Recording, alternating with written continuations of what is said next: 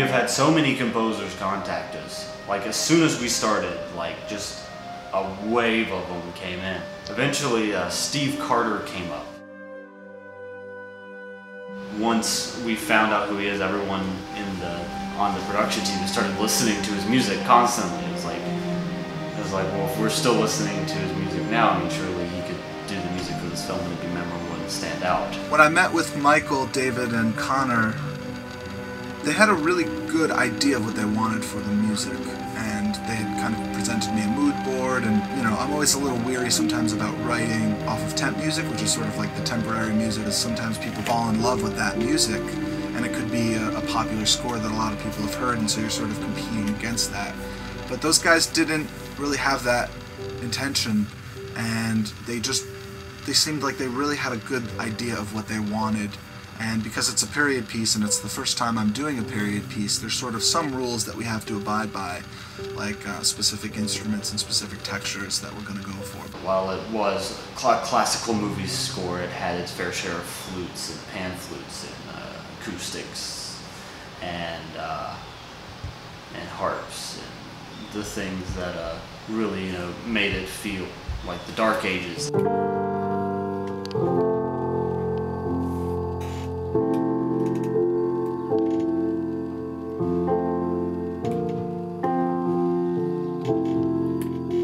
Bunch of different things inspire me. Uh, a lot of times it's people.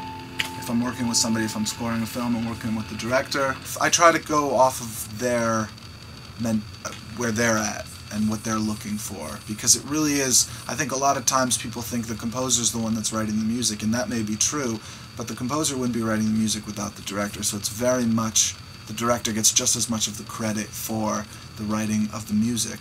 It's all him. Um, I just I just say you know maybe you could do less, you could do more. Uh, you know, music should come in here, it should come there.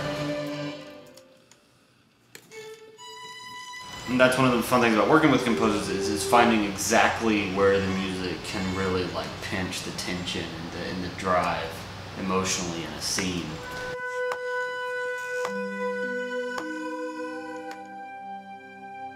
Be like if you were writing a song with somebody and they're writing the lyrics and maybe you're writing the music.